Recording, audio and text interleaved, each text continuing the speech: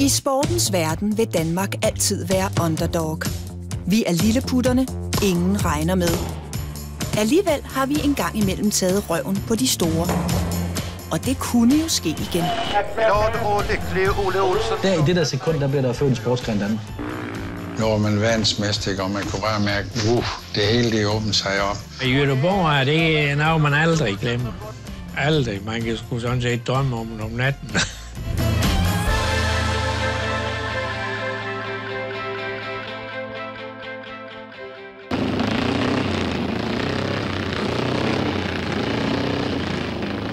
Jeg synes, der er noget ved Speedway, som, som ikke er ved de andre sporter. Og din favorit? Ja, det er Ole Olsen. Den 11. september 1971 vinder Ole Olsen som den første dansker nogensinde verdensmesterskabet i Speedway på Ullevi Stadion i Göteborg. Da han kører over stregen, forandrer den 24-årige mekaniker fra Haderslev danskernes syn på motorsport for altid. Så han var jo sådan set en, en symbol i, øh, og, og det fortræk han jo sådan set Danmark med op. Det blev sådan rigtig speedwayland. Ole havde jo ingenting. Ole havde jo ingen sponsor. Han havde jo ikke, hans forældre var ikke rige til at give ham. Der findes speedwaykører, hvis forældre har mange penge, der kan betale for det. Det er virkelig en dyr sport. Det havde Ole heller ikke. Altså, der var, der var slet ikke der var slet ikke noget grundlag for, at han skulle blive verdens bedste speedwaykører.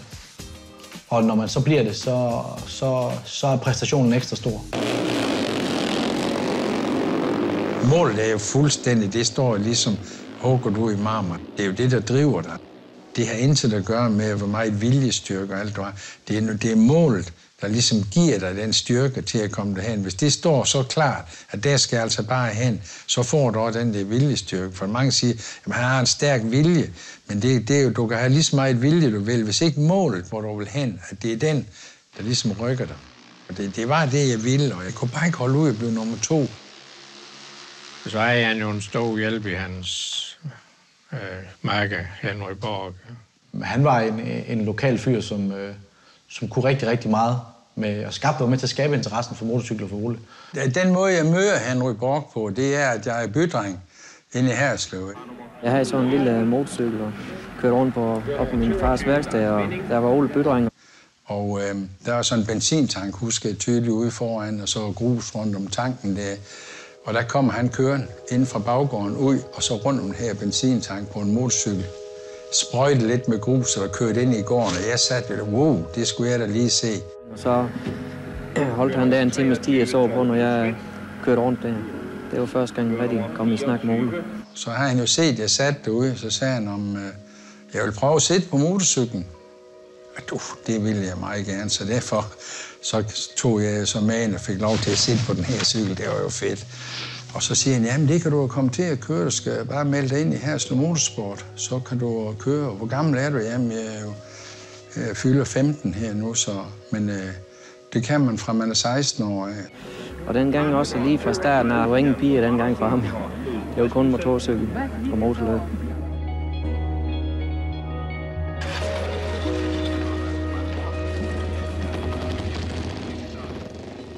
Når man er med til at føde en interesse for Ole, og, øh, og så føre den ud i livet, som han i Borg gjorde, så har du øh, Oles fulde opmærksomhed. Det fik han i Borg i en, en ret tidlig alder og blev en god kammerat for Ole.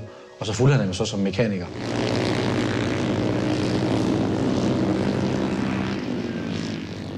Ole Olsen vokser op i Haderslev i en stræbsom arbejderklassefamilie. Men den 15-årige Ole har ingen intentioner om at følge i sin fars fodspor som lagerforvalter.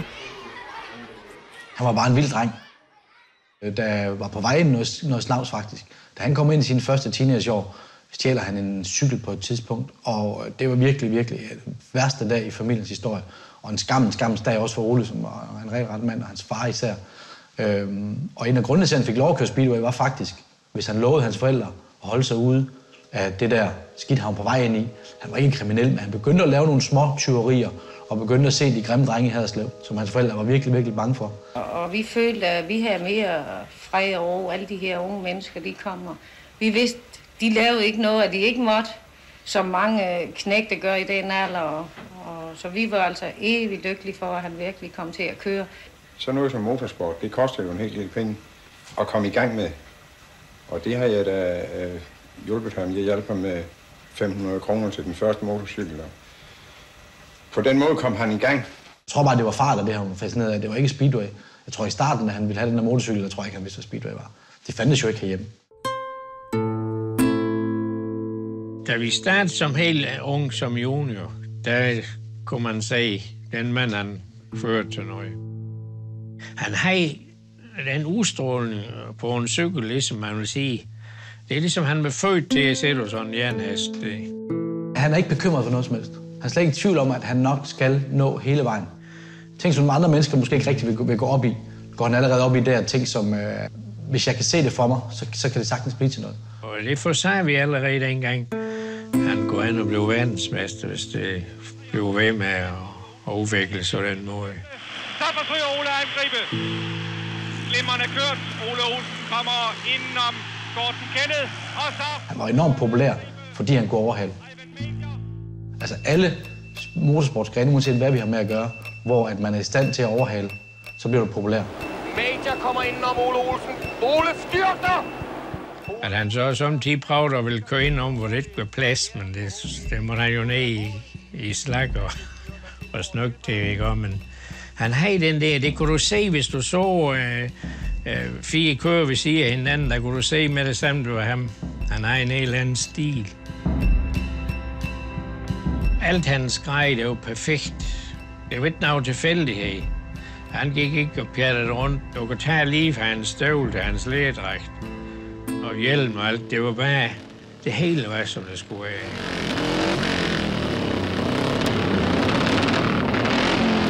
Da Ole Olsen får sin første rigtige speedway-cykel som 19-årig i maj 1965, er motorsport i Danmark stadig en blandet landhandel. Blandt de mest populære discipliner er motorcykel med sidevogn, 1000 meter på jordbane og Mini Cooper bilvedløb. Alt det ændrer sig, da Ole Olsen beslutter sig for at satse 100% på den magiske motorcykelsport fra England, Speedway. England er fuldstændig speedway-sportens arnested. Og så var der noget ude i Australien og New Zealand og sådan noget, men, men speedway var en engelsk sport, en engelsk opfindelse. Og det var der, hvor alle søgte hen. Så skete der jo ting og sager undervejs. Og blandt andet i 1967, der blev fra Danmarks Motorunion sendt øh, otte danskere på en træningsskole i England, Bellevue Speedway. Og, øhm, og der viser det så, det var så instruktøren derovre, det var jo Ivan Major, som øh, var øh, øh, europamester på det tidspunkt. Ivan Major var den her New Zealandske wonderboy, som øh, bare var verdens bedste speedway-kører. Og han var sådan en, de så op til, fordi han tog sig godt af dem, og tjente sig selvfølgelig også penge på det, i og med, at han drev den der, den der skole der. Og ham så Ole op til fra dag et af. Og det blev jo sådan, at øh, alt hvad Ivan Major gjorde, det gjorde Ole Olsen også. Og det der med, at man også en lille bitte sport. Han kommer fra et land uden speedway, rejser til England, kommer på en træningsskole og bliver i løbet af en dag trænet af verdens bedste speedwaykører. Og der fik man jo altså, du ved, det var, nu var det altså det rigtige sted stadion, så de kunne kun speedway, og der var folk, der, der ikke lavede andet over, de fik penge for det, og de havde mekanikere og alt muligt ude på banen, og de kunne træne hver dag, og det var, det var helt vildt fedt. Det var der slet ikke noget af herhjemme, ikke? Og så, men så... så da jeg kom hjem derovre det var en uge, vi var derovre. Og da jeg kom hjem derovre der var der et telegram to uger efter, tror om jeg var interesseret i at prøve at komme derover og køre som professionel. Og så fik jeg altså kontrakt der med Mike Parker for at køre for Newcastle Speedway i 1967 fra april af.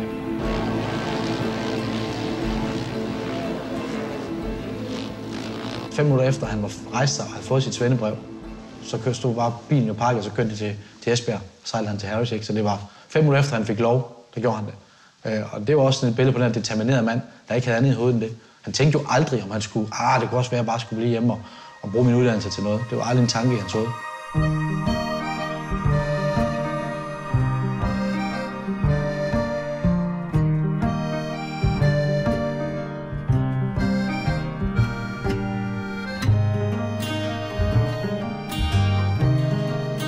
Da Ole Olsen i 1967 tager hul på sin professionelle speedway-karriere i Newcastle, bliver han genforenet med sin lærer fra Speedway-skolen.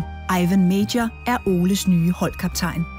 En af speedway-sportens mest mytiske fortællinger er duellen mellem Ivan Major og Ole Olsen. Fordi der, der er så mange lag i den.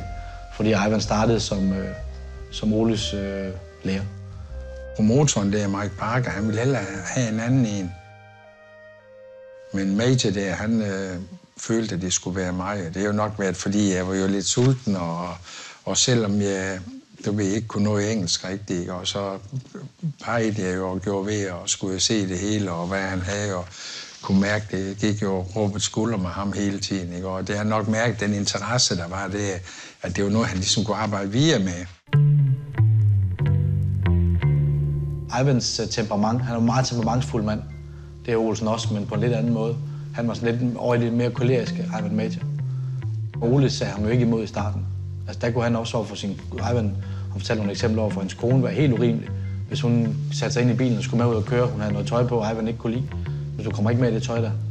Øh, og så behandler man jo ikke folk. Men det gjorde Ivan med sin kone omkring det der for eksempel. Og det, øh, der trækker Ole bare på skulderen og blander sig selvfølgelig ikke i det. Men så en enormt temperamentsfuld mand, som havde ordet i sin magt, og det havde Ivan Major. Det blev sådan et, et nært forhold, ikke? Og så øh, i 1968 vandt han på Wembley hans første VM. Så han vandt faktisk tre VM'er i rap der, så han var altså en stor gut i England. Og Ole slugte jo alt råt. Men jeg tror nok, Ivan lærte Ole for meget. Hvis du så dem, det er jo ligesom, det var et kopi af hinanden, de kom, ikke? Og der har han altså haft en god lægemester. Og så kunne han godt mærke, at Ivan han var jo en smart gut om, men så, øh, at øh, nu pressede jeg jo lidt meget på. Han var jo holdkaptajn deroppe for Newcastle. Og så øh, kan jeg huske, i 68, der flyttede han så til en anden klub, ned til Manchester, kom til at køre for Bellevue dernede, så blev jeg så holdkaptajn deroppe. I 1970 lykkedes det holdkaptajnen Ole Olsen at kvalificere sig til sit første VM. Han er nu blandt de 16 bedste speedway-kørere i verden. Han ender som nummer 10. Vinderen hedder for tredje år i træk Ivan Major. Og året efter, på Ullevi Stadion i Göteborg i 1971, regner alle med, at den uovervindelige New Zealander bare skal op og hente sit fjerde verdensmesterskab på stribe. Har du noget i din stil, som andre måske ikke har, og som kan give dig et verdensmesterskab? Ah, det er svært at sige. Alle stil og sådan er jo, det er meget forskelligt over det hele sådan, men ja, en ret god starter jo, og sådan, og hvis det lige øh, er der med det, så tror jeg, for jeg, man, man kører, når man kommer op det har kørt så mange løb, så går vi næsten ens alle sammen. Det er meget, meget jævnbyrdigt, det speedway sport. Og øh, så er det, at starten betyder meget og så videre, så det, jeg tror chancen, det er lige så stor som alle de andre. Jeg tror, samtidig er min chance måske en lille smule større, fordi jeg ikke er verdensmester eller har været. De andre er verdensmester og skal prøve på at vinde en gang mere, for de ved, de har gjort det før. Men jeg ved, jeg er indtil der taber, alt der vinder. I septemberdagene op til VM 1971 står det klart, at Ole Olsen er den eneste lille trussel mod endnu en suveræn VM-sejr til Ivan Major. Det betyder, at nervøsiteten begynder at sprede sig i Ole Olsens barndomsklub. Vores i bestyrelsen, vi skulle jo være klar over, hvis han gik hen og blev verdensmester. For han var jo godt kørende i 71, og øh, vundet mange løb i England. Og, så vi var nødt til at forberede, at det kunne gå så galt. Hvad gør vi så, når han blev verdensmester? Jeg vil lave lavet en samtale med vores borgmester dengang, og tog ned over Røghus og sagde, Ole han skal køre øh, ved hjem i Göteborg. Hvad hvis han blev verdensmand? Ja, så må du ringe hjem, så må vi have flag op på alle vores bygninger. Og jeg håber, du ringer hjem, altså, det gør vi også. Vi sejlede over op fra Frederikshavn over til Göteborg. Og der kan jeg huske, at vi har booket en kahyt, så det fordi der var mange fans med over det. Det var helt fuld. Jeg tror, der var ekstra færge sat ind og alt. Så og nu skulle jeg altså over se det der. Og, og så lå jeg det ind, og så kan jeg høre over højtalerne, at kaptajnen kommer og byder dem alle velkommen, og de sejlede over, og de siger forskellige ting undervejs også, og, og de ønsker Olsen held og lykke derovre, og så videre. Det kommer over højtalerne, og jeg lå det ind over det er sandt mig noget pres på nu her med alle de mennesker, du ved, der er derovre og så videre, ikke?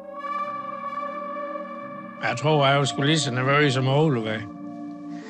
også bare det, for man har det i hovedet, man skal arrangere, hvis det går hen og går så galt. Og det har vi jo alle prøvet før, jo. Altså, bare ved, at man kom ind og sådan stadion, for vi var jo ikke vant til at se så mange folk på et sted en gang, for at være helt ærlig. Det var helt vildt, ikke? Stor favorit är de tre senaste årens världsmästare Ivan Major från Nya Zeeland med dansken Ole Olsen som eh, den enligt tipsen allvarligaste konkurrenten om titeln världens bästa speedwayåkare. Jeg ser sådan lidt anspændt ud, ikke? men det, det er altså koncentration. Og man tænker, wow, du ved, det, det, det er noget, det gælder. Der var 16 kører, der kørte alle mod alle. Det giver 20 heat i alt. Og vinderen af et heat får 3 point, nummer 2 får 2 point, nummer 3 får 1 point, og den sidste får 0 point. Og når alle har kørt mod alle, så tæller vi pointene op, og ham, der har flest, han har vundet. Det, jeg havde nummer 14 deroppe. Det er jo kanon, fordi det er, det er jo mit lygtal. Det er 2 gange 7. Så derfor tænkte jeg, det sgu dobbelt så godt. Der havde du altså hjelm og briller og hele dynen på, og så nu begyndte du, kunne godt mærke pulsen, den begyndte at køre op af, og så står der 40.000 og glor på dig, og så skal du holde om ved starten derom, og du har altså kun et skud i bøssen der, fordi at, øh, der er ikke noget med, at det bliver kørt om og nogle ting, der skal være op på duberne. Og, og det er da klart, det, det giver noget pres, og så ved man sådan en VM-final, går du ud og tager to pinde i første hit, bliver en tredjeplads, eller for den sags skyld bliver chok i dit første hit, men så kan du glemme det i 12 måneder, så, så kan du ikke vinde det med. I hit nummer fyra från innebanan, polacken Jackiel Ole Olsson från Danmark. VM-debutanten Tommy Jansson som lägger sig på andra plats efter Ole Olsen. Jeg får jo en kanonstart för det fordi jeg lige får en skudt ordentligt af. Og det, det lå jo ligesom, eh, du ved, i bunden, at nu var der ved, nu, nu kører vi, nu er vi i gang. Täten Danmarks Ole Olsen som är den allvarligaste titelaspiranten vid sidan utav Ivan Major. Og der kan du jo se, der er han så klog nok, at han holder lidt øje med, hvor han er henne hele tiden. Ikke? Og så er han jo hurtigere ved, at han blev ved med at passe over hans indebane. Og stadigvæk følger med ud, når de øh, begynder at vil prøve at komme udenom. Ikke? Og så er det første hit, det er jo bare fedt. Fundamentet, det er der nu. Det kører i dag. Cyklerne kører. Danmarks Ole Olsen går mot en säker seger före Bengt Jansson och Tommy Jansson på tredje plats. Clean sheet, som vi siger, der er tre pinde på kontoen, så vi, så vi hjælper det lidt. Jeg synes, det hele det kører i kroppen igen. At, at, øh, simpelthen, øh, jeg kan snart huske, som det var, man var helt under gulvet. Efter Ole har vundet sit første heat ud af fem, tager han det andet lige så suverænt. Han har scoret de maksimale 6 point efter to heats og ruller nu frem mod sit tredje. Først i sit fjerde heat skal Ole Olsen i direkte duel mod Ivan Major. Det er nu sidste chance for at samle point, inden han står styrthjelm til styrthjelm med den tredobbelte verdensmester. Svagsta. Altså, der starter han jo helt forrygende. Ole Olsen i ledningen. Det er pisse farligt. Altså, der hvor folk kommer galt afsted, det er nede i første sving. Og der er fire mænd, der kører 100 km i timen uden bremser. Det er der ikke på speedwaycykel. Og kommer ned i første sving samtidig. Der er ikke plads til fire voksne mænd og en speedwaycykel. Så er der nogen, der skal føje sig. Ole Olsen ut på det andra varvet med ungefär fem meters ledning före ryssen Gardejev. Der er mange flinke, flinke fyre i speedwaysporten. De vinder ingen skid. De dummeste svin er dem, der har titlen. Medan Ole Olsen har ungefär 20 meter Og der, er- der er luft dernede til os, og de får noget stryg. med en poäng. Hittills obesegrad Ole Olsen från Danmark. 9 point, du, for tre hit af. Men så vil jeg så også sige, at så, så er det også, så begynder det så at snærpe lidt til os, fordi nu kan man jo se lige pludselig, at øh, øh, det, det, nu kan du altså godt gå hen og vinde det her, ikke også? Så nu skulle vi ikke sådan snakke så meget om det. Øh, mekanikere, det de vidste godt, og øh, dem har jeg også fået lært, de skulle bare holde deres kæft, når det, de sagde, de skulle ikke sige noget, mindre jeg spurgte dem om et eller andet, og det vidste de godt, det, det vidste de mange år. Han kan smide VM der. Altså hver gang du holder ved startsnoren i det der løb der, der kan du smide VM. Afstanden mellem succes og fiasko og lemlæstelse og død, den er hårfin. Når du føler dig aller, allermest sikker, så er der kommet nogen og ramme, når du kan ramme et hul. Din motor kan sætte ud, så du ikke bliver verdensmester. Eller lidt er endnu værre. Hvis du tabte et heat, og dermed kun fik 12 point, så kunne du nærmest ikke blive verdensmester. 15, så blev du verdensmester. 14 havde du, skulle du være uheldig for ikke minimum at få en omstart. Og 13, så begyndte det at blive lidt mere svært. 12, så kunne du nærmest ikke blive verdensmester. Så der er ikke råd til en lille, lille bitte fejl. Jamen, jeg kan godt se, folk de var så nervøse alle sammen til... Det var der ingen, der sagde lige øh, ind, øh, da de holdt ned ved startsej. Der var det simpelthen ro i lejen, det kan jeg godt se det. Ivan Major med nummer 7 på ryggen tog Ole Olsen under sine vinger fire år tidligere. Nu skal den unge dansker med 14-tallet bagpå køre sit livs vigtigste fire baneomgange mod sit store forbillede. Både for Major og Olsen er det deres næst sidste heat i VM-finalen. Og lærlingen fører på point. Nu er det altså ham og mig, det drejer sig om, ikke? Og, og ja, så vidt jeg husker, så han, han taber et point, så jeg kan tage til ham, men uh, så skal jeg måske ud og køre om med ham. Jeg vil hellere have det gjort færdigt nu, når vi er i gang her. På innebanan har vi Ivan Major från Nya Zeeland som vann det 12 heatet och står på 7 poäng. Han har 7 point kun. Så det er fint. Og kæft, han har tabt to. Og han starter på indebanen. Men Ole Olsen på väg mot VM-titeln, men får res på maskinen og ligger... Nej, han starter dårligt. Ivan Major leder. Kæft, mand. Han ligger jo sidst. Der er han jo ikke mentalt til stede. Hvis du kan lave hejs på din cykel, altså når du kommer fra, når du slipper koblingen, og den kører, og den er så stærk, at du ikke kan holde den nede, så er du, det er en kæmpe fejl. Det er faktisk en af de største fejl, man kan lave speedway. Men Ole Olsen kommer og ligger nu på tredje plads. Han har arbejdet sig op til tredje plads. Nu er der i hvert fald kommet op på træerne. Og Ivan, han, skal, han går til en du, ja. Men han bør op til andra plats om han vill vara säker på att vara med och slåss om VM. Major siger, så nu kommer han der. Nu, när han pressar sig förbi Bernt Persson. Han är förbi Bernt Persson och ligger på andra plats efter Ivan Major. Ivan Major leder ut på det tredje varvet med Ole Olsen närmast efter sig. Ivan Major nummer 7, Ole Olsen nummer 14, Bernt Persson nummer 12, ni som ser rygtavlorna där. Det, der kan jeg begynde at mærke, tror jeg, at det ved du hvad, jeg skal have ham. Kommer inte förbi. Se, nu begynder han at kigge af mig. Det er dejligt, når nogen de gør det, for så tager de koncentrationen lidt. Man gör en attack på ytterkanten, nu går ut långt i kurvan för att få bästa möjliga spår ut. Hvorfor holder du dig ikke bare der, Olsen, i stedet for at tage en chance? Fordi hvis du tager chancen, når du overhaler, det øger selvfølgelig risikoen for, at du styrter. Og hvis han bare holder sig der, så har han det i egen hænder i sidste heat. Kæft, han kører sindssygt. Men det var inte rätt Og så øh, kører jeg lidt længere ud. Det er ned, man kommer måske lige langt nok ud, men nu holder jeg da i hvert fald på.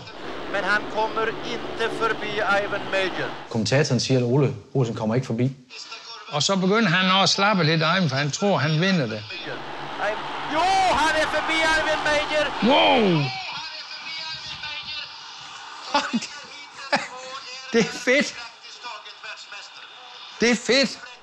En fräck manöver i sista kurvan. Ole kører ind i ham. Det er jo helt vildt. Det er fedt speedway, det der. Og se, han er den første til at sige tillykke til mig. Og det var bare fedt. Det var dog, da han kørte ind om Eivind, øh, der var sammen lige før tribunen, den var ved, som larm.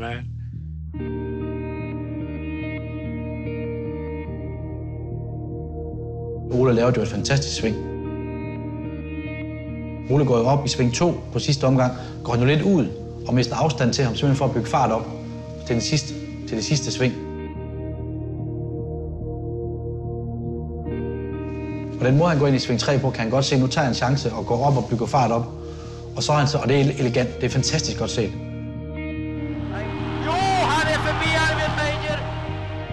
Ole skubbede faktisk til sin lærermester i det sving der. Jamen, der, der var sådan set ved at sige noget, at skulle lige før den hjemme. Der var jeg sådan set snart sikker over, at han var verdensmester. Og det der, det er med en verdensmester værdigt. Men han er ikke verdensmester endnu. Tingene, de sker jo altså. Der er 12, 12 point, ikke? Så, øh, og han har et hit, ikke? Og mere tilbage, hvor står på 9. Hvis han vinder det, så har han også 12 point. Og hvis jeg bliver chok i mit hit, eller der sker noget andet, jeg vælter, eller bliver pæret af i mit sidste hit, så øh, det, det, det var ikke over endnu der. Det er jo, det er jo med at holde tungen lige i munden endnu. Der er den der kliché, som er, at der er ikke noget, der er afgjort, før du for sidste gang ser det tegnede flag. Altså, den holder bare hele vejen. Den ryttergård, den var inde under tribunerne, hvor vi var derinde, og så var der nogen, der varmer op og eller gør noget med cyklerne, og der er en lidt os og, og lidt derinde. Og så går jeg jo lige udenfor på parkeringspladsen. Der sætter jeg mig lige udenfor. Så kom der en svensk politimand og sagde, jeg må vist hellere passe på dig, så du bliver verdensmester. Også mærkeligt, han gik derud. Jeg synes, han var ude på noget farligt. Hvorfor blev han ikke bare siddende, som han har gjort inden i fire første heat? Han gamble lidt med sit sind der, synes jeg. Ved at gå udenfor. Jeg tænkte slet ikke på, på, på titlen og alt det der. Jeg tænkte, nu, nu, nu er det nu, og så er der altså vundet, men du, du har et endnu, du skal have gjort det ud. Ska nu nerverna hålla för 24-årige Ole Olsen från Danmark, från Haderslev i Danmark, som nu har sitt livs chans att vinna Danmarks första VM-titel i speedway. Och res för Jim Eiry och det är nummer 14 Ole Olsen som går först genom kurvan. Han er hurtig. Altså, han har haft noget godt materiel. Henrik Borg har været en dygtig mand for ham til at skrue på den der maskine der. Han er jo lynhurtig. Och han är nu på väg mot sitt unga livs absolut största triumf.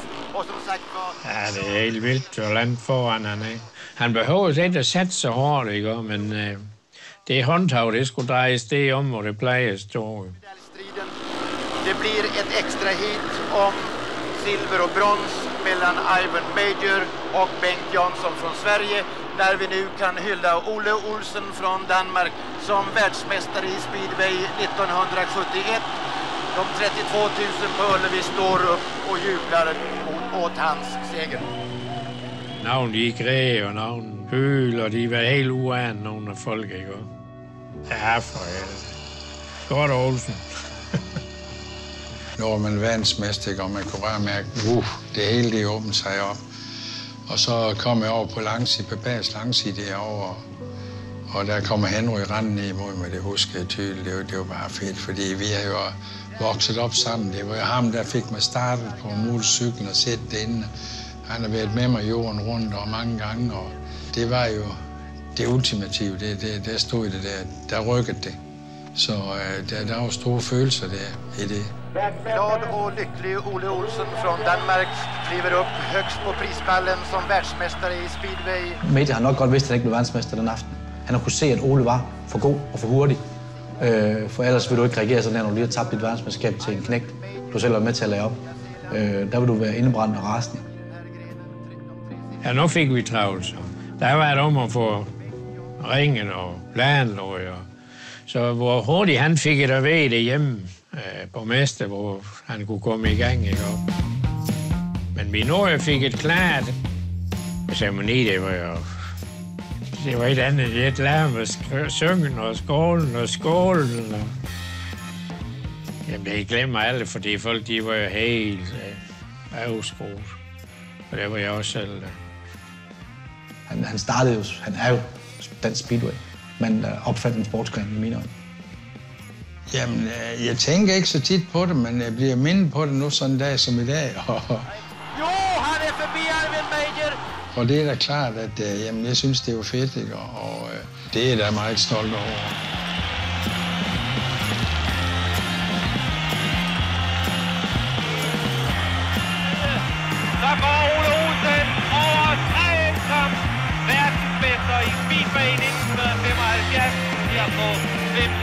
Og opbagnet sin mekaniker. Og så er det